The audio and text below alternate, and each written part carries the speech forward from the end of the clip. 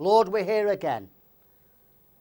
We're here for another session, Lord, and we don't want it to be academic, Lord. We want to somehow get some revelation, some food. Lord, please help us. Lord, if your Holy Ghost doesn't quicken what I say, Lord, it'll be dead. And instead of putting Jesus in people, it'll take Jesus out because the dead letter kills. Lord, when a man speaks, it's not neutral. It gives life or it kills. And Lord, we're desperate that we have life and not death.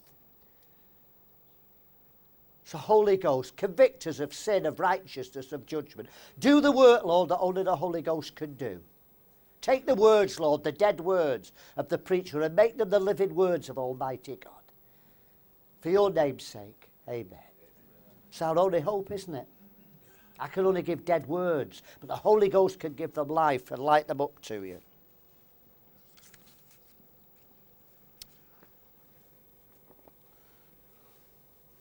All right, so we're reading chapter 12, aren't we? We've looked at the woman. We said the woman's Israel, but not just historical Israel, just not circumcised Jews, the Israel of God. And I've claimed that the, the baby that's born is the bride of Christ, and it's snatched up to heaven as soon as it's born. You'll need to go back to the other studies and read the book. But when Jesus said to Nicodemus, You must be born again, he was not talking about salvation. I know we use it, we've been born again, we've been born again. But really, you're in the womb. You know, a baby in the womb isn't a fetus, it's a child. Is that right? A woman was with child. When you've got a baby in the womb, when it's born, it's nine months old. Because a human life starts at conception biologically. That's when a human life starts at conception. And it's a child. But it's in the womb and its life comes from the mother. It's not got independent life. But when it's born, the cord's cut and it's now independent. Is that right? We're now in the womb. You are the sons of God, but it doth not yet appear what you'll be like. My wife's pregnant, eight and a half months. I wonder what the baby will be like. May not be like me, it may look like his mum. May look like the granddad. God forbid it could look like the milkman. You don't know. I'm serious, you don't know, do you? I make love to my wife, and thank God nobody else does, as far as I know, but we know that these things happen, don't we? If my wife has a black baby, I'll know it's not mine. There's no genes to come out there. Do you understand? So we are the sons of God, but it doth not yet appear what we'll be like. Jesus said, What's born of the flesh is flesh. So your flesh, is that right? What's born of the spirit is spirit. You're not spirit yet, you're still flesh and blood. Is that right? Yeah. You have the spirit in you, and you're a son of God, but you, it doesn't appear what you'll be like because there's got, got to be a metamorphosis, hasn't you? You've got to change from mortal to immortal. You've got to be born of the Spirit to be Spirit. Flesh and blood can't inherit the kingdom.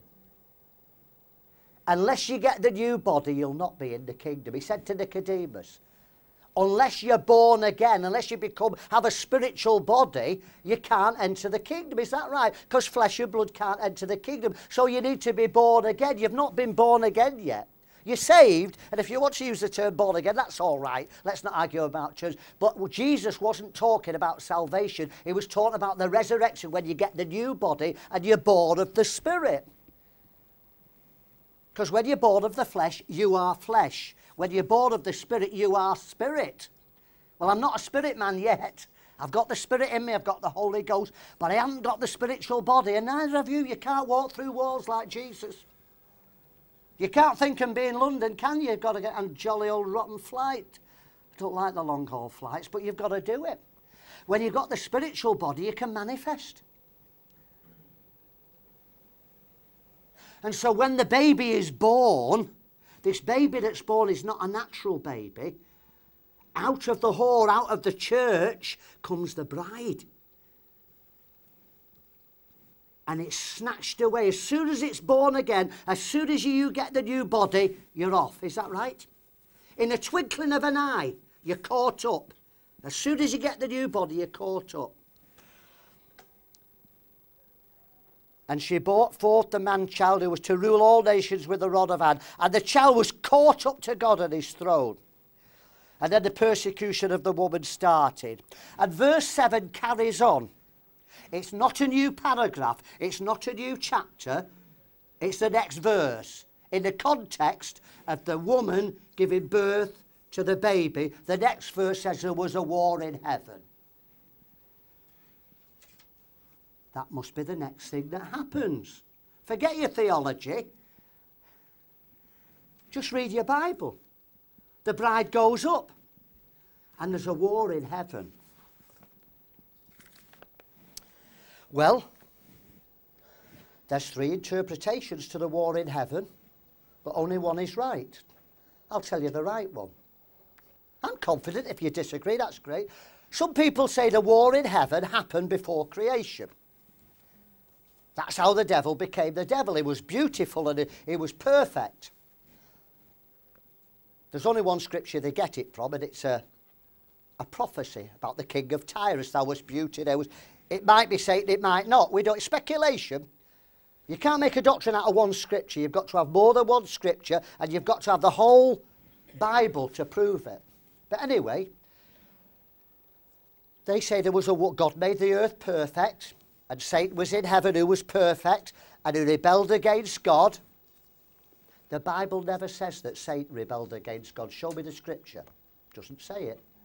It says there was a war in heaven and he was cast out. But it doesn't say Satan rebelled against God. But this is the theory. He rebelled against God. He was cast out to the earth. Some people believe in the gap theory, and that's when the earth was without form and void. And the seven days is the recreation, not the creation. That's what, you know, but the, the point is, they believe that Satan sinned before creation and was cast down to earth, and they, sub they substantiate it with this scripture there was a war in heaven. Michael had fought with his angels against the dragon, and the dragon fought with his angels, and prevailed not, neither was their place found any more in heaven. And the great dragon was cast out, the old serpent, called the devil and Satan, which deceived the whole world. He was cast down to the earth, and his angels were cast out with him. Some people believe that Satan was cast out not then, but when Jesus rose from the dead and he was cast out to get in nearer. I don't believe it's happened yet. And I think I'm right. Well, every preacher does. You don't have to agree with me. Let me try and reason with you. What does Revelation say? Let's read the beginning of it. The letters to the churches. And after he's talked to the church, now, when did he talk to the church? AD 70, is that right? John was on the Isle of Patmos. This is literal now. This is in time, is that right? This is not eternity. John was on the Isle of Patmos in AD 70 and he saw a vision. And the angel says, Tell the churches. That was the present day churches in Pergamos. You're not in Pergamos, are you? In Thyatira, you don't live in Thyatira. So he said, Tell the churches that are in Asia. And I, I mustn't get carried away with that, why it was that in Asia, but letters to the churches, for that was for then. Now, I believe it's also chronological, and we're in the last church age now, church age, Laodicea, I accept all that. But it was for the churches then, wasn't it? the prophecy is always for now as well as the future. So he was telling the churches then. That's in time. That's literally in AD 70. What happens after that? After this, verse four, uh, 1, chapter 4 now. After this, I looked and behold, a door was opened in heaven, and a voice which I heard that was a trumpet, that's Christ, isn't it? Hold the candlestick, the voice that thundered. And a voice said, Come up hither. He's been on earth up to now, is that right? He has a vision on earth about the seven churches of the churches are on earth. And then the voice says, Come up. Why did he leave earth? Come up and I'll show you things which must be hereafter. That's the present, warn the churches. Now come up to heaven and I'll show you the future. Am I making it up? Is that, am I making it plain what it says there? I'm not adding anything to take it away. So now he goes up to heaven and here's, I'll show you things in the future. So there's nothing in Revelation after chapter 4 that's history. Does that make sense? If he's showing him the future, what's he talking about history for? And if the war in heaven is history, it's the only verse in the whole of Revelation that's history. You won't find any more that's history. You'll say it's all the future, won't you? So it's bad exegesis, isn't it? To say that, that one verse of the war in heaven is pre creation when the whole of Revelation, except that verse, is the future, and there's the scripture. I'll show you things which must happen in the future. So I'm not a theologian. And if you are, get rid of your theology and read the Bible. Because that's the real theology, isn't it? I'm not against theology, but I'm not, we don't want the traditions and doctrines of the church and men. Let's read the Bible. And if my interpretation's wrong, come and tell me. But don't tell me your history and your doctrinal bias. Just show me the scriptures. And I'll, I'll accept the scriptures. So I believe all Revelation after chapter 4 is the future. Well, when Jesus went to heaven, if Satan was cast out, that was the future, so that, that fits in that criteria. But what it says is, he was cast out to the earth, and his place was found no more in heaven. Verse 8, he prevailed not. It doesn't say that the devil rebelled and fought Michael. He said there was a war in heaven instigated by God, and Michael and his angels fought against the devil and his angels and threw him out of heaven. That's really what it's saying. There's no battle of good against evil. God's in complete charge. And God said, It's time to cast Satan out of heaven. Michael, go and do it. And he went, and there was a war, and he cast Satan out of heaven. It doesn't say that Satan rebelled and tried to take over heaven anywhere in your Bible. Never says it. All right, I know you've been told all these things that, that he tried to take over heaven, but show me the scriptures. I'm challenging you. What it said, there was a war in heaven, and Michael fought against the devil, not the devil fought against Michael. Michael fought against the devil and cast him out of heaven. It's time God said he has to be cast down. And the accuser of the brethren was cast out, and his place was found no more. My second point, that it can't have been pre creation, because in the book of Job, there's Satan in heaven talking to God. The sons of man, God, presented themselves before God, and Satan also came to present himself before God. And God says, Hiya, Satan, how are you doing? Where have you been? If you know Job, this is what it says. I'm just bringing the language up to date. I'm not being uh, flippant. How are you doing? Satan? where have you been? He said, well, doing my job, what you created me for. I've been going to or throw on the earth, whom I can devour. I've been doing my job. And God provokes him and said, I hope you saw Job while you was down there. He loves me and hates your guts. And he says, no wonder you put a fence round him. Well, you know the story. And then another time came and Satan presented himself. So Satan's got no problem to have access to heaven in the Old Testament. Is that right? Well, there was another time, you look blank, there was another time with Ahab. God wanted Ahab to fall in battle. He says, What shall we do? And one spirit said this, and one spirit said that, and one spirit said, I know, I'll go and be a lying spirit in the mouth of the prophets. What do you think about that? That's terrible. God said it's a good idea, whatever you think. God says, That's a good idea, that'll work. Is that what God said? Read your Bibles. God said, That will, that's good, that will prevail. That'll prevail, that'll work. And God gave permission for this lying spirit to go in the mouth of the prophets, so they prophesied falsely, so Ahab would fall in battle. So these spirits have access to heaven, don't they, at that time? They've not all been cast out. Because I don't think it was a good angel, do you? That was a lying spirit. It falls on the side of being a bad one, does it to you? But certainly Satan himself had access to heaven. And it's the accuser of the brethren. Is he not? And I believe he's still the accuser of the brethren, but not you. When Christ died, Satan cannot accuse you to God anymore, is that right? But he's not cast out of heaven because he can still accuse Israel.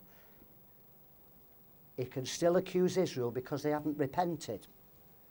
The blood of Christ doesn't cover Israel, it covers us who accept Jesus. But they they're under slumber, they're asleep. They're waiting for the day of atonement, aren't they? Next conference, we'll talk about the, the Passover, which is the, the lamb. Jesus is our Passover lamb, is that right? That's for the whosoever, for the whole world. Whoever applied the blood would be saved from the judgment, the wrath of God. That's salvation. It gets you out of Egypt, is that right? And if a non Israeli applied the blood, the blood, the angel would pass over.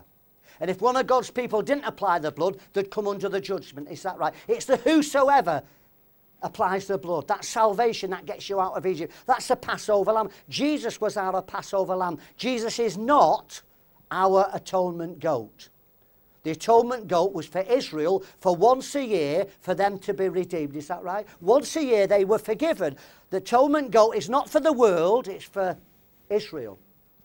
Once a year for the nation to be saved. That's why Jesus will come on the Day of Atonement. We apply the blood. They kill the lamb. Killing the lamb doesn't atone for blood, it has to be applied. Is that right? Who applies the blood? For your salvation, you. Jesus doesn't apply the blood for you. When he went into heaven with the blood, it wasn't for you, it was for Israel. We apply the blood. Is that right? By faith, we apply the blood and we are saved. We're out of Egypt, we're God's people. But Israel is Jesus was their atonement goat at the same sacrifice. And he's taken his own blood into the temple in heaven because now he's the high priest after Melchizedek and he's still at the right hand of God, officiating as a high priest after Melchizedek, and he's still got the blood. That's what happened in the Old Testament. When the high priest came out of the temple on the day of the atonement, the whole nation was saved. Is that right? How can a nation be born in the day? Easily, Day of Atonement. How can Israel be saved in a day? The day of atonement, when Jesus comes back to his own people, having applied the blood, they'll be saved. Don't mix up the Passover lamb and the atonement goat, will you? They're seven months apart. In the Jewish calendar, we've mixed them up. Christians don't know. The only part of the New Testament that talks about the atonement goat is the letter to the Hebrews. When Paul's talking to Gentiles, it's a Passover lamb. The Passover lamb, Jesus our Passover lamb. When he's talking to the Hebrews, he talks about the blood of bulls and goats and the high priest going into the temple because it's for Israel. I'm nearly preaching next conference's sermon, aren't I? So I believe that the devil can't accuse us anymore because the Passover lamb has been slain. And I'm unreprovable, I'm unrebukable, is that right? Unblameable. On your bike's sake, you can't accuse me. I can laugh at him. All is that. Yeah, but Maurice did this and Maurice did that. So what? The blood of Jesus Christ covers me from all sin. Your accusations, case dismissed. Too late, Satan. You can't accuse me. But he can still accuse Israel yet. Because they haven't repented yet. How can they apply the blood? The priest hasn't come out of the temple yet, has he? But Yeshua's not come to them yet. They're waiting. The, Israel's waiting for the Messiah. They're not wrong. Don't criticise them. They, they missed the first Messiah. The church will miss the second Messiah. They're waiting for Messiah. They're right. He'll come and reveal himself to the Jews as the high priest, and they'll be saved in a day. Isn't it wonderful? God's plan to let the Gentiles in and graft us on and then restore Israel on the very day of atonement. I'm convinced he'll come then. If the Holy Ghost fell on the day of Pentecost and Jesus was killed at Passover, what's going to happen at Tabernacles? Well, it's obvious, isn't it? And when he does that, we've got the booths and we've got the millennium then. All fits perfectly. And I heard a loud voice in heaven, verse 10, say, Now is come salvation and strength and the kingdom of God. Now Jesus can come. For the accuser of our brethren is cast down, which accused them before our God day and night. Verse 12. Therefore rejoice heavens. That's when heaven rejoices. Don't forget, Jesus takes the blood to purge the temple in heaven. Because Satan still has access to it. But when Satan's cast out, it says, Heavens rejoice! The accuser of the brethren, the prosecuting solicitor, will never sit at the left hand of God. There's only Jesus on the right hand. He'll never come again to accuse you. Rejoice, heavens, you're free. He can never come up and accuse humanity before. The cross broke that accusation before us with the Passover lamb. And when the bride goes up, Satan's cast down and he can't accuse anymore. Rejoice, heavens. Pity the poor old earth. Rejoice, heavens. Woe, curse to the inhabitants of the earth and the sea. The devil's come down unto you, having great anger, because he knows he only has a short time. That's what he fears, being cast out of heaven. Because when the bride goes up, he comes down to earth and has no more access to heaven. He can never accuse anyone again. He's lost all his power in heaven to stand before God and accuses. He's down on the earth and he knows his damnation is very close. Wherever the church are there and the bride doesn't come out, he's happy. He's happy with the church. He doesn't mind. If the church get the worldwide, he doesn't mind. What he fears is the bride, the remnant going up, because he'll be cast out and he knows his time is short. He's on a, a short fuse now. He's going to be bound for a thousand years very quickly after that. And then he's only loose for a little time and he ends up in the lake of fire. And the devil is terrified of the rapture, terrified. That's why you should look forward to the rapture and rejoice. The devil is paranoid about this baby that can be born. He's absolutely fearful.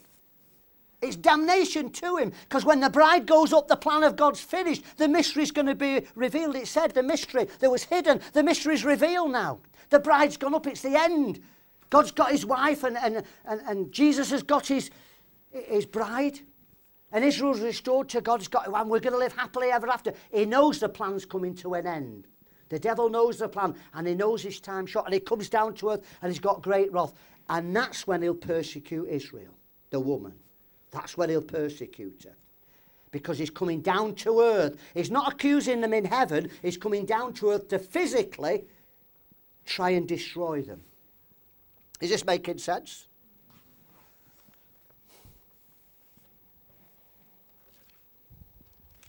And I believe that's when Satan personally enters the man of sin.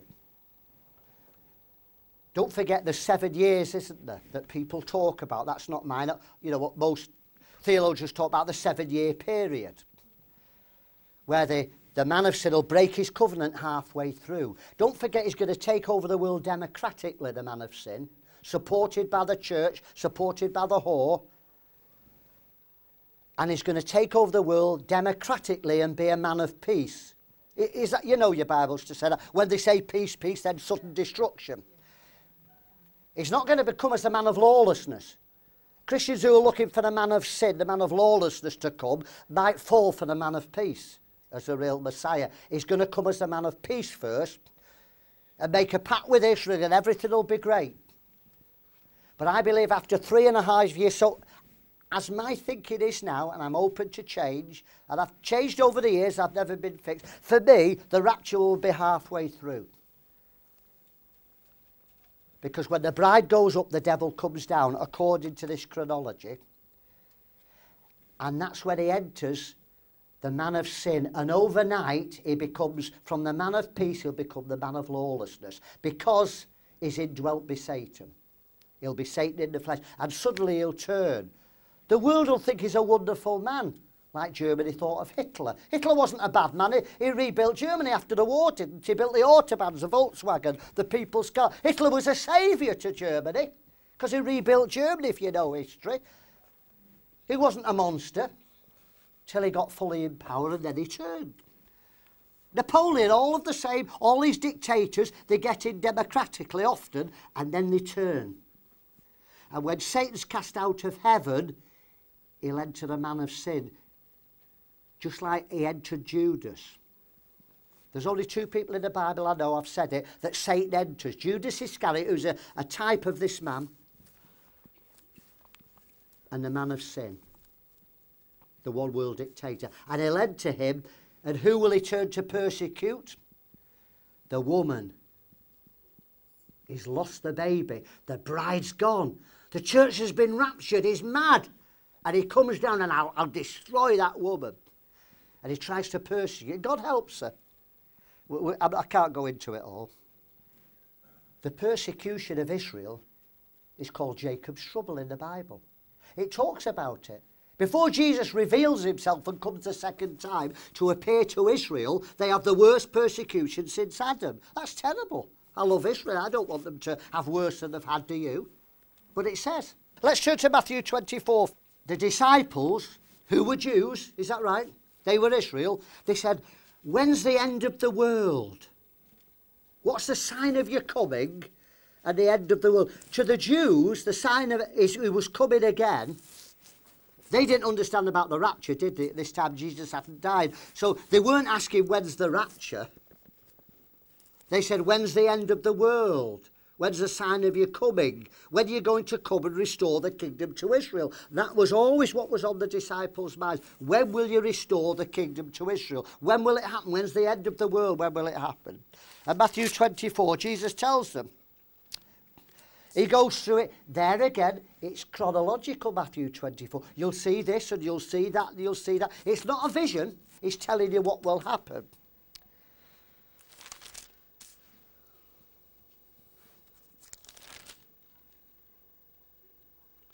False prophets, verse 11, rise and deceive many.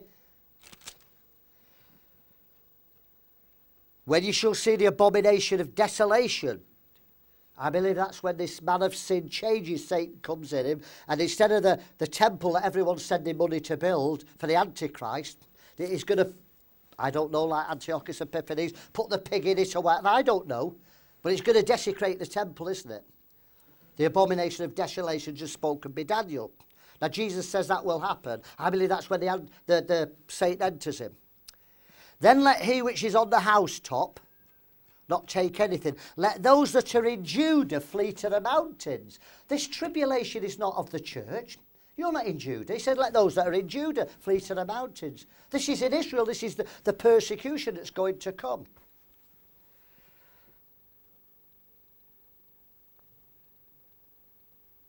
Verse 21 For then shall be great tribulation, such was not since the beginning of the world to the time, no, nor ever shall be.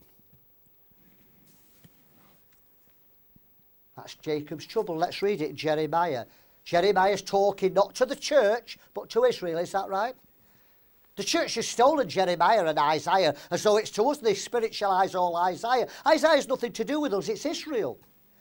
Well, we, we, that's your roots. If you want to know the history of the church, look in Revelation. But the history in the future of Israel is all in Isaiah. That's why there's 66 chapters in Isaiah. One for every book of the Bible. There's 66 books in the Bible. It's everything about Israel in Isaiah, and it tells them the future. Don't read it as though it's for the... Don't spiritualize Isaiah. Spiritualize Isaiah. It's talking about Israel and what will happen, literally where are we? Um, Jeremiah, aren't we? Jeremiah 20, 30. Jeremiah 30. Right, verse 5.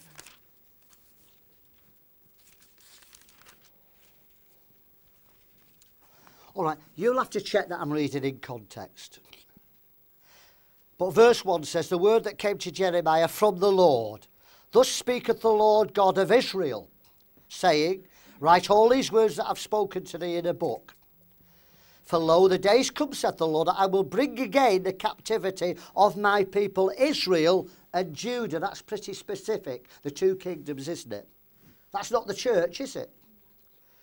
And I will cause them to return to the land that I give their fathers, and they shall possess it. And these are the words that the Lord spake concerning Israel and Judah. For thus saith the Lord, so going back to the land isn't so wonderful. Is it? Do you think Satan's worried about Israel going back to Israel and getting the land back? He's happy. Satan's happy if all the Jews of the world, he'd like them all to go today back to Israel because he's got them all in one place. He can annihilate, annihilate them all together. Think from the devil's perspective. We know what God's going to do and deliver Israel. But imagine you're Satan. Wouldn't you be glad? If every Jew went back to Israel,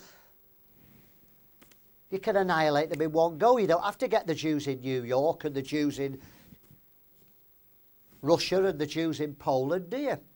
They're all back in Israel. Wonderful. Do you think the devil's worried about that? And he's saying, Thus saith the Lord, we have heard a voice of trembling. He's just said they're all going back to Israel. Wonderful. But what for?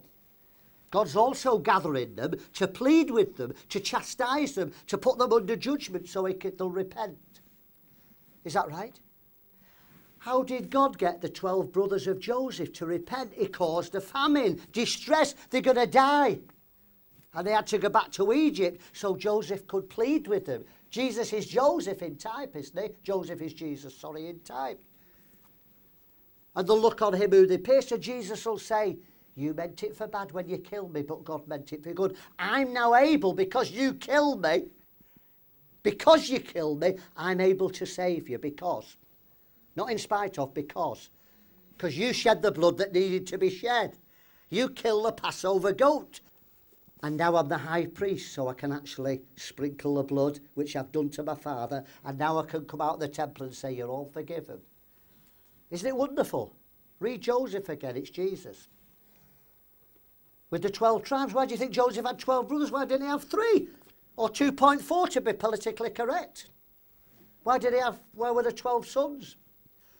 The 12 tribes, it's all Israel, isn't it? We have heard a voice of troubling of fear and not of peace. Ask ye now and see whether a man doth travail with a child. Wherefore do I see every man with his hands on his loins as a woman in travail? Every man is in pain like a woman. I'm not a woman, but I've heard them scream in hospital. I've heard them scream out in hospital of the pain. And every man's like that, holding his bowels, screaming out like a woman in travail. and all faces are turned into paleness. Alas, for that day is great, so that none is like it. It is even the time of Jacob's trouble, but he shall be saved out of it. Because when the birth pains are there, it's time for the birth. Israel will be born again. Israel will be born in a day after the pain. So it's wonderful them going back to Israel, rejoice, but actually, it's going to cost them. Because God's got to plead with them and chastise them. I don't believe healing's in the atonement. But I believe in healing, but you don't need blood for healing. The disciples healed the sick, raised the dead, cast out devils, and Jesus hadn't shed his blood. Isaiah raised the, uh, Elijah raised the dead without the blood. You don't need the blood for healing. In the Old Testament, when you were sick, you never killed an animal. You never shed blood to be healed. Healing was to do with obedience or disobedience. Check your Bible. I believe 100% in healing. Raising the dead, casting out devils. You don't need the blood for it. They cast out devils, heal the sick, and raise the dead before Jesus shed his blood. He sent them out. Jacob's trouble. The church don't know anything about this, do they? Do you know what the church scenario is of the last days? They think they'll take over the world. They'll Christianise finances, politicians. Will Christianise and redeem the arts. Is this what they're saying? The devil's got it. We need to redeem culture. We need to redeem the arts. They're, they're going to take over the world. And they will. The church will take over the world. We'll get the one world church. Don't be part of it be part of the bride that comes out.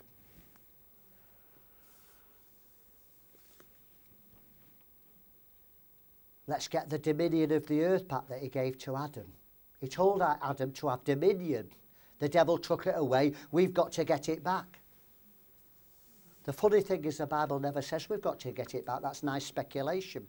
Tell me where it says redeem politics, redeem music, redeem the arts. Where does it say it? It doesn't. In fact, he said the opposite. Hate the world. If you love God, you'll hate the world. Salted society is blasphemy. It says you're the salt of the earth. The earth is terra firma, is physical. It's the light in the world. Society is the world. It doesn't say be salt in society. It said be light in the world. That's a battle. That's a confrontation. You can't mix light and darkness. You can't permeate darkness with light. As soon as you bring light, darkness goes at the speed of light, 186,000 miles a second. That's how fast darkness goes when light comes. But we say, let's permeate, let's be like salt permeating society. We've mixed the metaphors salt of the earth, creation, and light of society. But we've mixed it, let's be salt in society and cross them. Church do it all the time, mix the metaphors and get what they want. Friendship evangelism, uh, friendship evangelism, it's all nonsense. Jesus said, I've come to bring a sword. Truth hurts. You can't be a friend with lies, can you? You have to tell the truth. God's people never learn from history, do they? Ezekiel 13, verse 4 first. O Israel, thy prophets are like the foxes in the desert. The Lord saith, and the Lord has sent them, and they have made others to hope that they would confirm the word, patting each other on the back, this mighty man of God. Verse 10 Because even because they have seduced my people, saying peace, and there was no peace. We're going to take over the world, and then we can welcome His Majesty. All these songs that you sing, Majesty, worship His Majesty, they're good songs, I can sing them. But they're singing it because they think they're going to bring the kingdom in. Graham Kendrick write it, let's bring the kingdom in. You can't bring the kingdom in. Jesus has gone away to prepare a kingdom and he'll come back with his kingdom. The church cannot bring the kingdom in. You have the kingdom within you, but how can you bring the kingdom in without the king? You can't have a kingdom without the king. And Jesus is not king yet, he's high priest. He's not king yet, is he? He's going to be physical king of Israel, sat on the throne of his father David, literal. Well, he's not there yet, so how can we bring the kingdom in? Jesus will bring the kingdom with him. And you can be part of it if you'll suffer a bit.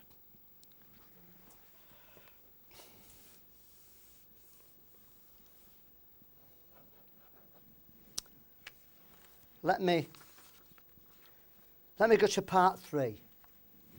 There's lots I could say. You, you realise it. I mean, there's a lot in Revelation, isn't there? And I, there's lots I don't know. But part three is just about this first resurrec- resurrection. So if you believe, if you come along with it, and you believe that the bride will come out of the church, which, which is Babylon, really, the whore, because we brought politics in, we brought voting. What church do you know that doesn't have voting? That's politics. If you bring voting in your church, it's Babylon.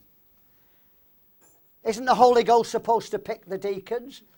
If you fast and pray, the Holy Ghost said, Separate me, Paul and Barnabas, for the work that I've called them to do. The Holy Ghost chooses people.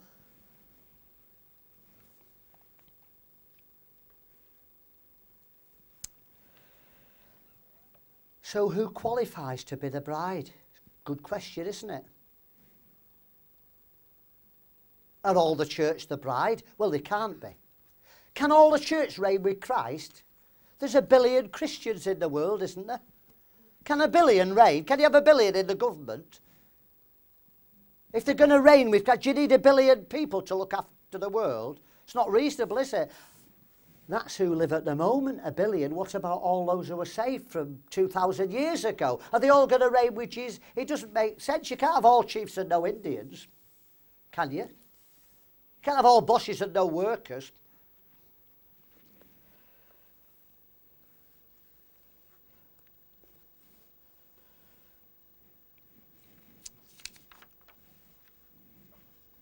I'm just giving you a bit of time to think. Who'll qualify? Do we know? Is it speculation? You need to know, don't you? Well, the Bible talks about it. Let's, there's loads and loads of scriptures. Jesus and the apostles show that some qualify to reign and some don't. We're talking about the kingdom. Everyone who's accepted the Passover lamb, salvation, are saved. Is that right? Whatever sort of a life you lead, if you live a selfish life, do you lose your salvation? If you're a proud person, do you lose your salvation? I hope not. I know a lot of proud, proud Christians, including ministers. You don't lose your salvation by how you live, otherwise, it's by works. If I have to live a good life to be saved, none of us will be saved. You can't live a good life before you're saved, and you can't live a good life after a sinless life, can you? So it's not by works, it has to be by grace. That's for salvation. That's because your name's in the book. And unless you're blotted out of the book, which would be very difficult, once the name's written in, God wouldn't blot your name out lightly. Some people believe it could never be blotted out. But whether you do or not, if your name's in the book, you're saved. But that's salvation. There's a thousand years of reign of Christ before the great white throne. Who's going to qualify to reign with Jesus? Qualification for reigning is works, not grace. The church have deceived us. It's all by grace. Yes, salvation is by grace. You can't work. Reigning with Christ is not by grace, it's by works. Because there's qualifications. And I'm going to read you a few, so just see what you think. Romans 8, let's look at the scriptures. Now, if you don't accept what I've said, that there's qualifications after these scriptures, you've got a mental block, or you won't listen to logic, which means you're stupid. Is that right? If somebody says something logical and you don't believe it, you've got a problem, haven't you? You believe in fantasy. If it's plain, if it says it, if you measure me and I'm five foot two and a half in my stocking soles, and somebody tells you I'm six feet, and you've measured it and see five foot two and a half, you're a fool to think I'm six foot, aren't you? I'd like you all to think it, but it's a lie. So I'm going to play some facts to show that some qualify and some don't. There's loads more. All right, let's, in, let's get into it. Romans chapter 8, verse 17. All right, the context. Verse 50 We've not received the spirit of bondage but received the spirit of adoption. We've been adopted. Jesus is not ashamed to call us brothers. Why? Because Jesus' Father has accepted us into his family. I'm now a child of God. Not like Jesus by birth, but by adoption. I'm a child. So Jesus is not ashamed to call us brothers. We've been adopted into his family. The Spirit itself bears witness with our spirit. We're the children of God. That means you're saved. Is that right? If you're a child of God, you are saved. Full stop. But he doesn't stop there. And if children, then heirs. Oh, so I can get the inheritance that a legitimate child would have. I'm not legitimate in that I'm adopted, all right. But because I've adopted into the family, I'm an heir because I'm in the family. You're heirs, heirs of God, and joint heirs with Christ if, ah, qualification. If you suffer with him, that you may be glorified together with him. Is that a qualification or not? You're born again, you're saved, and you're an heir, you'll inherit if your inheritance is an if. Your salvation is sure. Eternal life is secure. Never worry about your eternal life. It's finished. The accuser of the brethren's cast down since Jesus for the church. You can't be accused. Your salvation's sure, but you may not receive the inheritance. The prodigal son didn't. He wasted it. And when the father died, he was restored back, but there was nothing to show. Do you realise that, the prodigal son? The elder brother was groaning and moaning. And the father says, What's the matter? He said, Well, he's wasted all his inheritance. He's spent all his inheritance. And the father said, Why are you belly aching? Because all that I have is now yours. So when the father died, the elder son got his half of the inheritance, and the younger son got nothing because he'd spent it. He was restored. That's why he had the fatted calf and the blessing. We think, isn't it wonderful he had the blessing and the fatted calf? Yes, but he got no inheritance. Is that right? Think about it.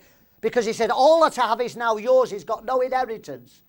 He's forfeited his inheritance. Think about it. All the parables were for Israel, not for the church. We can spiritualize it, we can apply it. Wonder who the elder brother is and the younger brother. Think about it. Who's going to moan when God restores Israel back.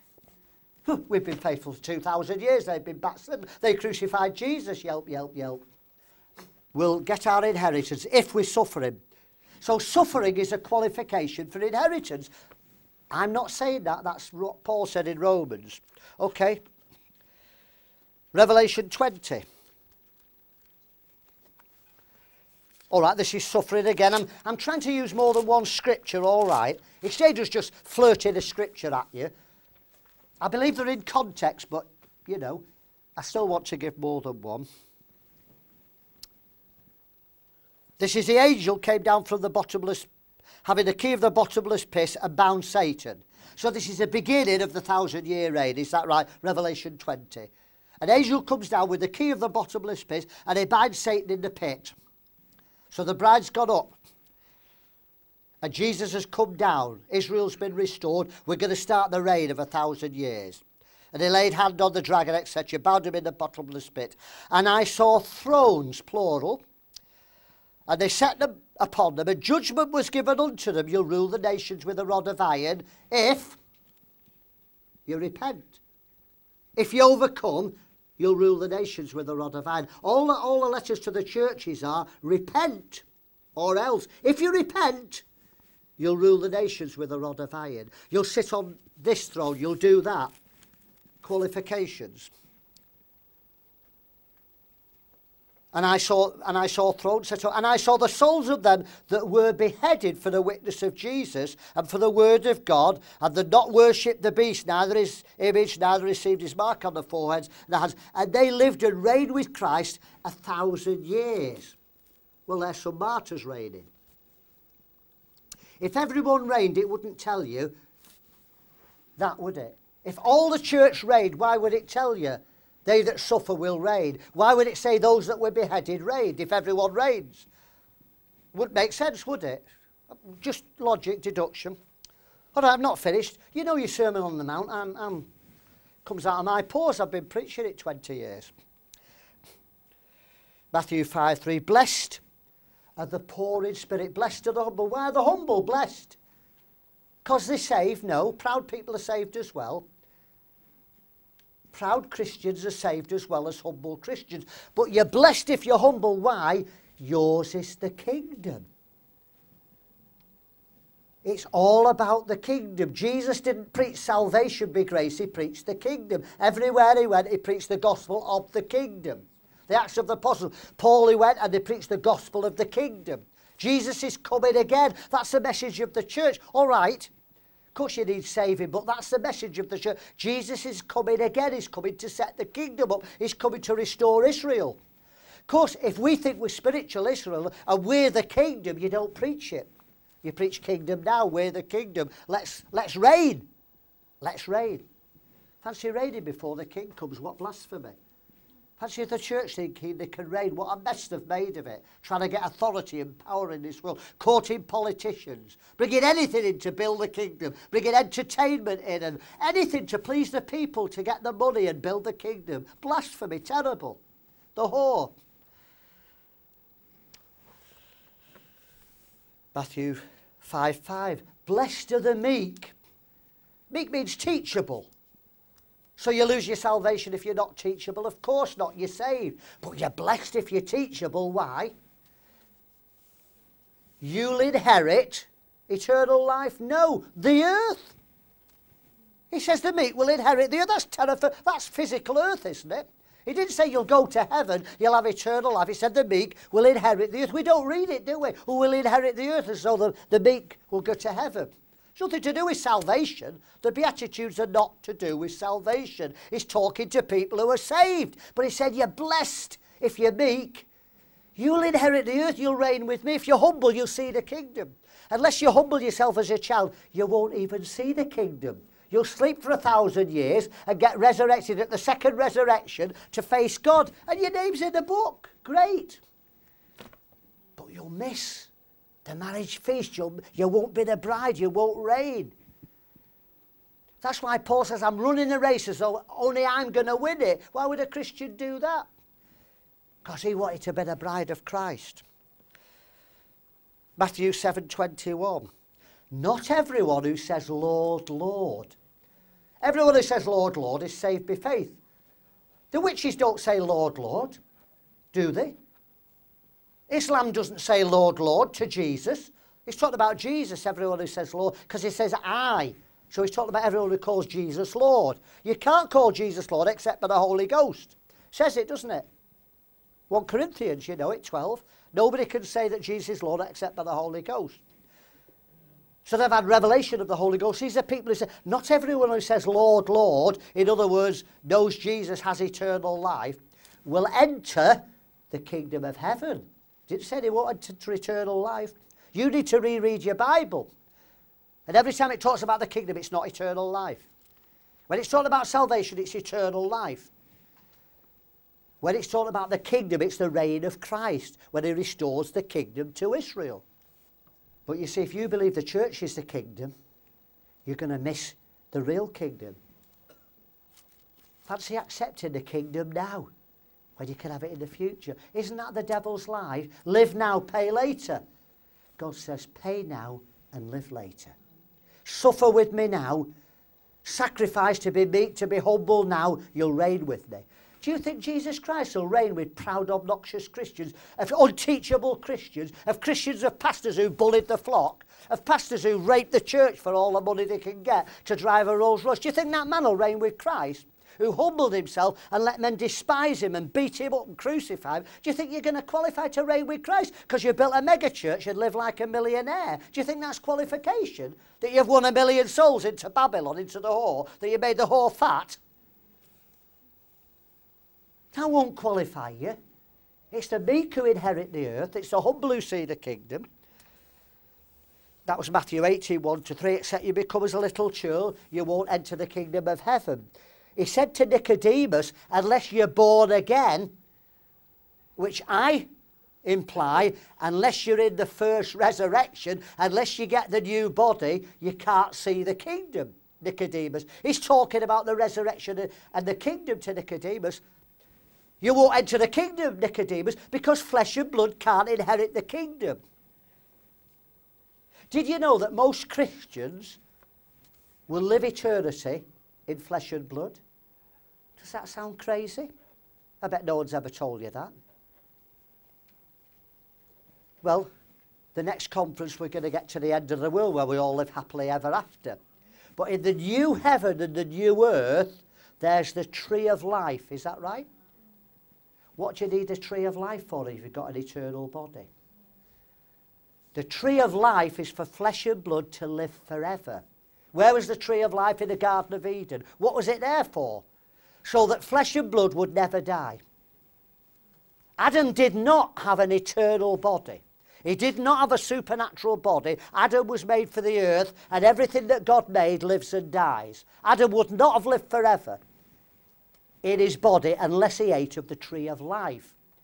I can prove it to you because as soon as he sinned, you'll know the scripture. God said, unless he eat of the tree and live forever, we'll have to put him out of the garden.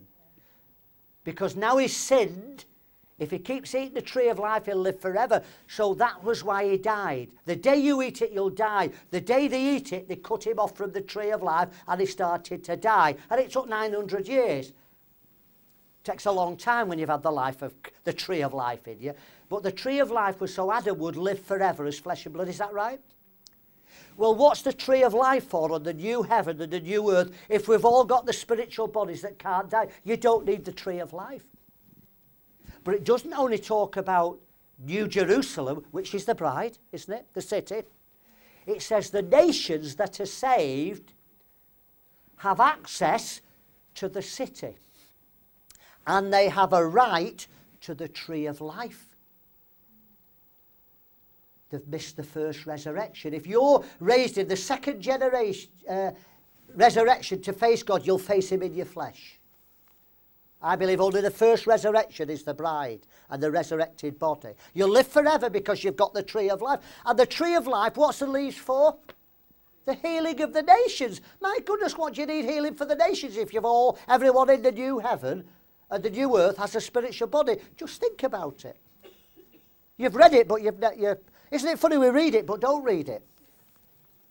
What's the leaves of the tree? Healing for the nations. What's the tree of life for if you've all got a supernatural body that doesn't die?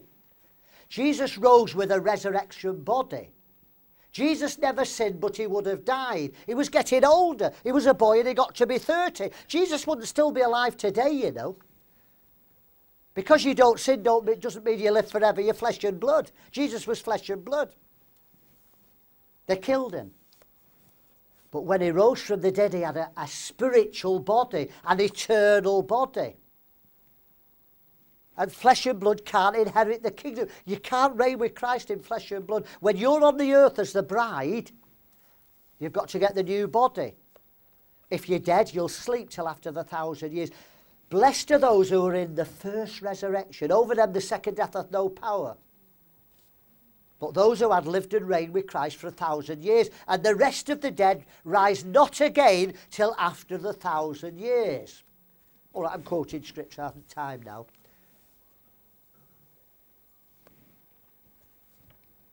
So you'll either live in the millennium and you're saved, but you've missed the rapture. You've missed it. And you're saved, and you might die in the millennium and then you'll be raised to face God and your name's in the book. But I don't believe all Christians are the bride of Christ. And because of that in Revelation, I can't believe that everyone will get the new spiritual body. Think about it. Don't just accept it because I said it. Don't think, oh, Maurice is always right. I hope I am. I hope I've done my homework. I hope I'm. But, don't accept it. Go away, ask God, read the Bible. Read that revelation about the nations that are saved. Who are they? That's not the lake of fire.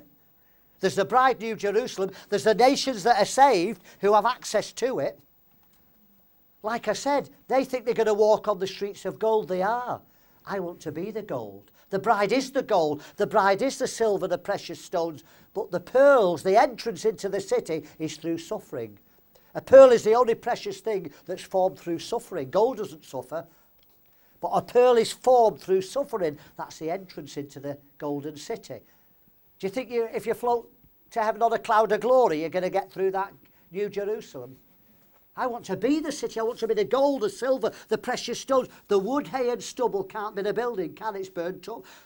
When you're tried by fire at the judgment seat of Christ, it decides whether you're the gold, silver, precious stones, the city, or wood, hay, and stubble. But wood, hay, and stubble is not the lake of fire. It's your works that are burnt up, how you've lived as a Christian. Because it says your works are burnt up, but you yourself will be saved. Is that what it says?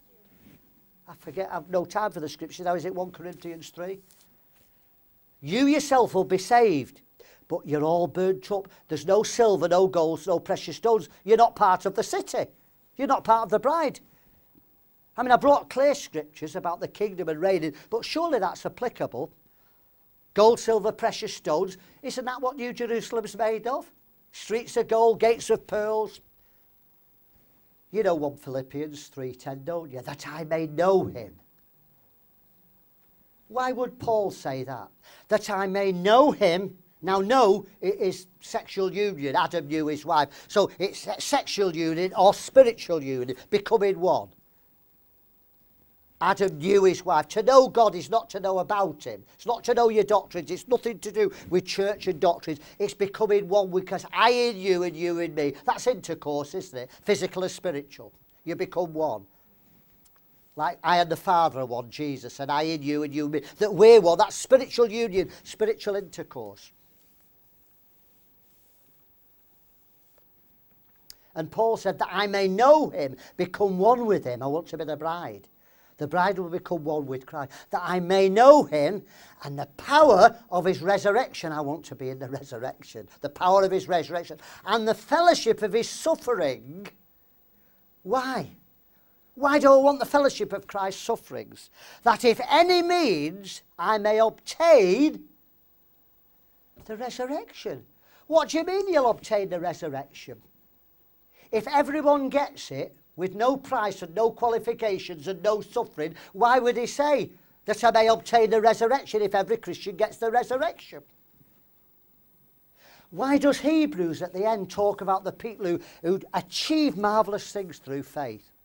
Through faith, they stopped the mouth of lions. Through faith, they did this. Through faith, they did that. Through faith, they did marvellous things. And then at the end, that the faith preachers leave out, he says, and others refused deliverance because they were stupid. No. They refused deliverance to obtain a better resurrection. Tell me what's a better resurrection? A resurrection is you're dead and you become alive. Can you get better than that? Can you get better than a resurrection? A resurrection, you're dead and you're alive. What's a better resurrection? A better resurrection is when you're resurrected with the spiritual body instead of flesh and blood to serve, face God. He wanted a better resurrection than everyone else. To obtain a better resurrection, he wanted to be in the first resurrection. Think about it. Don't accept what I'm saying without thought. But you'll have to tell me what a better resurrection is. If we're all going to get the same resurrection, why would he seek a better one? There's no such thing as a better one unless it's different. Is that right? So if every Christian is going to be resurrected, why is he saying, I want to conform to his suffering, I want to know him and be one with him so, I obtain, so they obtain a better resurrection? All right, I'm mixing those two scriptures up there. The rich young ruler qualified for salvation but missed the kingdom. Should I say that again? The rich young ruler qualified for salvation and missed the kingdom because he asked two questions, not one. I've no time now, time's running out, so check your Bible later if Jody's not got it. What did the rich young ruler say? First question, Master, what must I do to obtain eternal life? That's salvation, is it? Eternal life, to live forever, means salvation. How do I get saved? It's under the old dispensation. Jesus hadn't died. Jesus couldn't say, repent and get washed in the blood, put your hand up and say the sinner's prayer. Jesus hadn't died, had he? So what could Jesus say? He had to talk to him under the old law. Keep the commandments by faith. Did you know you could be righteous through the law? if you kept the law by faith. It's faith that saves you, not grace. Grace does not save you. You're saved by grace through faith. No faith, no grace. We preach cheap grace. Because faith requires action. Faith without works isn't faith. No changed life, no repentance, no faith, no grace. You're saved by grace, but it was through faith. Faith is the operative word, not grace. Grace is the consequence of having faith. Is, is this common sense? If you're saved by grace through faith, then the only way you get grace is through faith. So faith is what pleases God. You can't please God without faith. And when you please God with faith, you get grace. You can't get grace without. Otherwise, it's cheap grace. Come to God, it's all right. Oh, God loves you, it's all right. No repentance, no just live how you want. God just wants to shower you with indulgent blessings so you can have a carnal life. That's cheap grace. Where's the faith in that? The world would be all Christians if we promised them Rolls Royces and that like they do. No wonder the churches are full. No wonder man's got a church of 10,000. He's offering the Rolls Royces if they give to the ministry. Of course you'll fill a church. Talk about sufferings and qualifications. You'll empty the church. So what did he preach? Because you're paying me wages. I've got to keep you happy, haven't I? Thank God nobody pays me. Thank God I'm not paid. I'd be a hireling. I'd be hired. Fancy your church paying a pastor hiring him. Because if they hire you, they can fire you. You're serving the church, not God. You're trapped, aren't you? Is that right? The lender, the borrower servant to the lender. If they pay you, you've got to he who pays the piper calls the tune. There's no point in a pastor moaning that the church won't let me do what I want. You're accepting the money. You're a hireling, you're doing it for hire. All right, is that a bit too strong?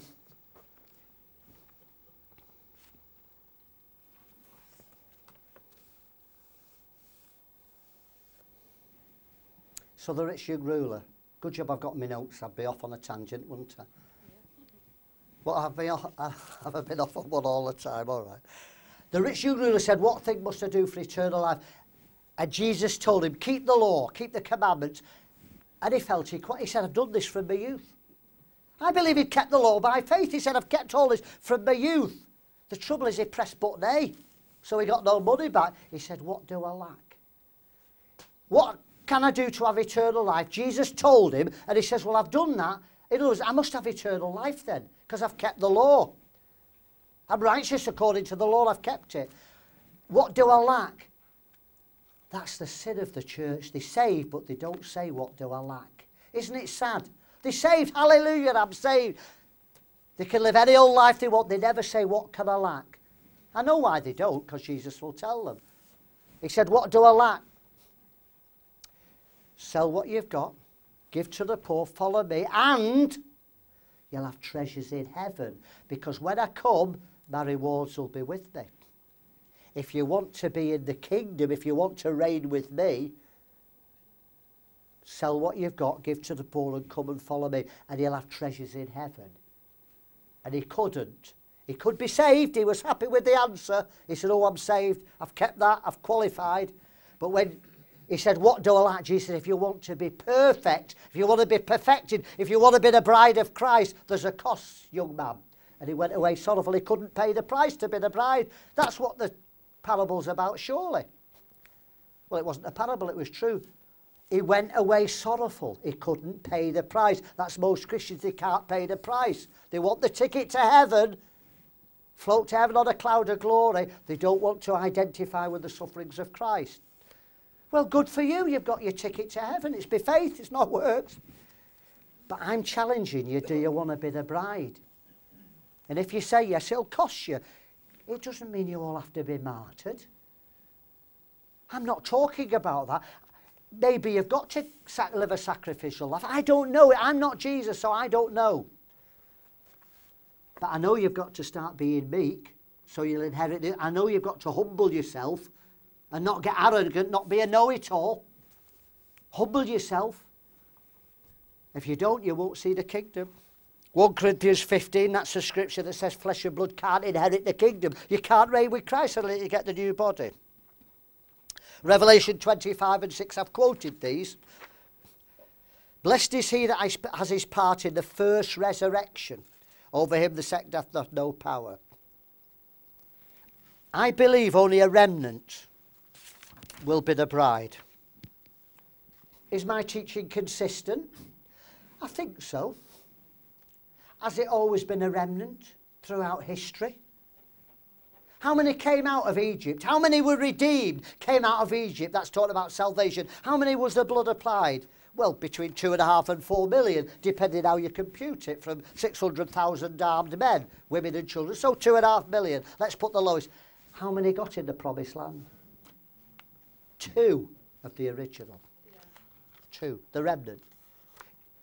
Israel didn't fail because two got in. God never fails. God's people seem to fail, but the remnant go through. In every apostasy, there's a remnant that go through. And Joshua and Caleb were the only two out of two and a half million that entered the promised land. The, the promised land, Canaan, is not a type of heaven. Over Jordan into Canaan's land, it sounds wonderful. It can't be eternal life because there's giants there and walled cities.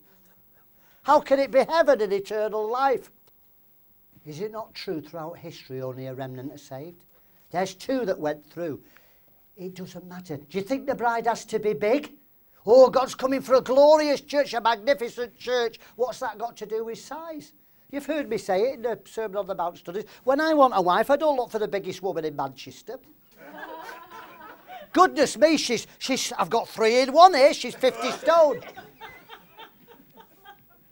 I don't look for the biggest one. I look for the purest one if I've got any sense. I look for a virgin, somebody who no man has touched. I want a woman that's pure. I want a woman for myself. I don't want a second-hand woman. All right, if God gives you a second-hand woman, brilliant. Make her first class. But do you understand? You look for purity. It's not the size of the woman, it's the quality. Do you think God's worried about the size? Do you know in the spirit, two is the same as 2 billion in the spirit because a spiritual body is not contained in physical dimensions. Is that right? Do you understand spiritual things? I could say, Stephen, I see an angel there. And Gail will say, I see three. And Paul says, I don't see any angel. We're all right. The spiritual realm is not like ours. You can see one angel and some could, one could see 20,000. We're talking about spirit. It's not contained in the laws of matter. You can go through walls. Is that right? And yet you're solid. They said it's a ghost. He said, oh no, a ghost doesn't have flesh and bones as you see me have. Jesus had flesh and bones and a real literal body. He said, Give me something to eat. Ghosts don't eat. And he ate some food. He had a real literal body, but it was spiritual, not governed by the laws of matter. So the size of the church is immaterial. If the bride is two people, Christ will get his wife. If the church is two people, Christ will get his wife. The remnant will always come through. God's plan succeeded because only two that came out of Egypt went into the promised land. All the rest died in the wilderness. All the others that went in didn't come out of Egypt. They were born in the wilderness. But two did. What about Sodom? Only Lot got out, didn't he? What about Rahab? Just one out of Jericho. What about Ruth? Only one Moabitess came in. What about Daniel and his three friends? All the 100,000 Jews that went into Babylon all bowed the knee except three. There's only three still. Where's the other? All the other Jews, that they must have bowed the knee. They've got Babylonianized. Well, we know they did. They came out with the Babylonian Talmud, didn't they? Still practicing it today. But Daniel didn't. And Daniel's intercession got the bride out of Babylon to build the new Jerusalem. There's only one reason for you to get out of Babylon. It's to go and build New Jerusalem, isn't it? I'm going to leave the rest. It'll be in the book. It's in book four. I think tonight we get on to the book five you've not got yet. What was John the Baptist's message? You're God's children but bring forth fruit meet for repentance. The Messiah's coming. Prepare for the Messiah. Is that right? Surely we've got to prepare for the return of Jesus. Bring forth fruit meet for repentance. Let me plead with you get out of Babylon. I'm not saying leave your church if you go to a church. I'm talking about the system. You leave the world physically and go in a monastery, or the world leaves you. Do you understand? There's no point leaving Egypt if you've got Egypt in you. It was easy, God getting Israel out of Egypt. The trouble is he couldn't get Egypt out of Israel. It's easy to say, oh, I'm leaving the system. No point leaving the system if the system's still in you. It's not to do with physical locations and buildings. Do you understand? Get out of the system. Make sure it's not gripping you. Make sure it's not part of you. I'm not telling you to do anything. That's between you and God. I'm talking about your heart. Make sure there's no Babylon in you. Mix with the bride. Mix with the bride. Mix with people who, who believe as we do. Knowing the time, it's high time to wake out of our sleep. For now is our salvation nearer than when we believed. The night is far spent, the day is at hand.